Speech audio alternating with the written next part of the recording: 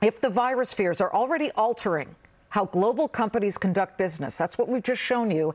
Let's get some interpretation from our Federal Reserve Day power team. CFRA Chief Investment Strategist Sam Stovall, former Wells Fargo Chief Economist John Silvia, and Brian Nick, who worked at the New York Fed and is now Chief Investment Strategist at Nuveen, which has an asset under management of about $1.1 trillion. I'm glad all of you are here. Sam, I'll begin with you.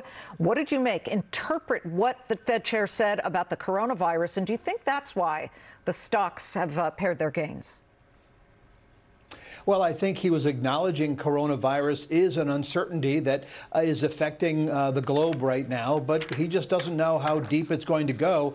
And so as a result, he's indicating that he is going to keep his finger on the pulse uh, of this uh, and make policy if need be. I think what was more important, in my opinion, was uh, basically saying that inflation is something that they're having a hard time uh, in a sense, uh, encouraging, if you will. And as a result, we probably will end up seeing rates remain low for a longer period of time. Well, yeah. And John, not only did he talk about inflation and that the Fed did not want to be patient about this below 2% level, but he also talked about asset valuations and specifically said they are, quote, somewhat elevated. Let me just put that in regular terms.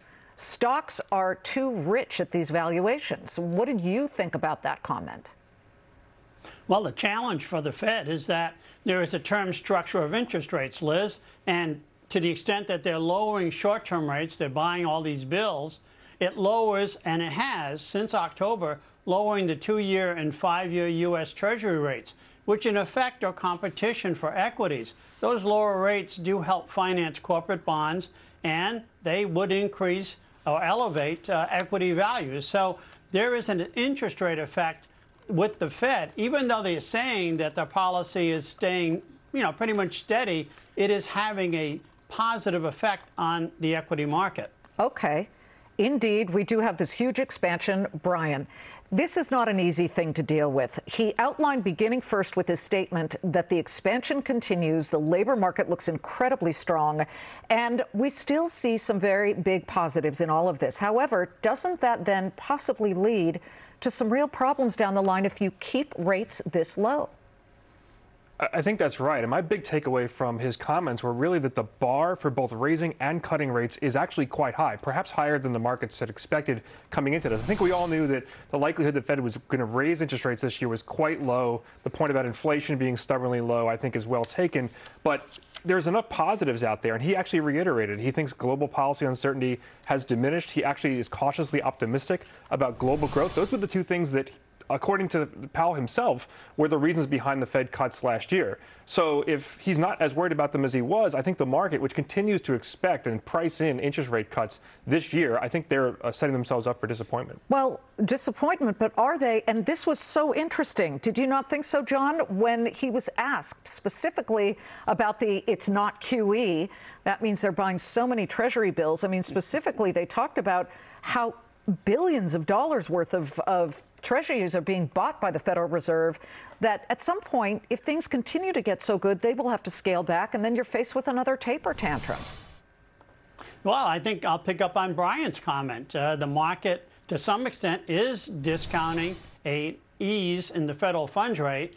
Uh, listening to Chairman Powell, I got no impression that they were ready to cut rates anytime soon. And so as a result of that, I can see why there's a disappointment in the equity market with respect to pricing future Fed moves. 390 billion over five months. That's what the Fed has added to the balance sheet, which we just showed you. Sam, for the investor, for the stock investor, the bond investor, you know, tell us where you see opportunity when you look across the spectrum of all the, the sectors out there.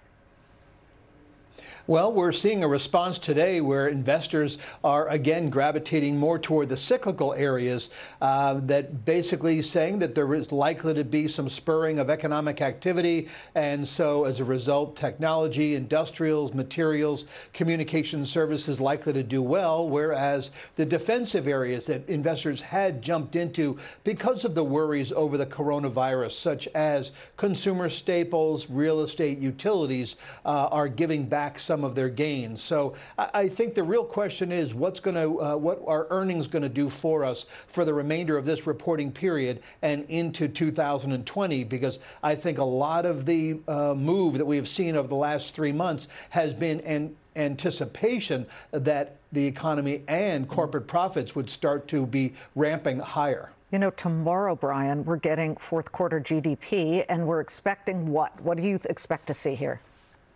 Well, we think it's going to be the slowest quarter of 2019. The good news is it's backward-looking data, so we're looking at October, How November, December. How could it be December. the slowest? We had such a bang-up holiday season, did we not?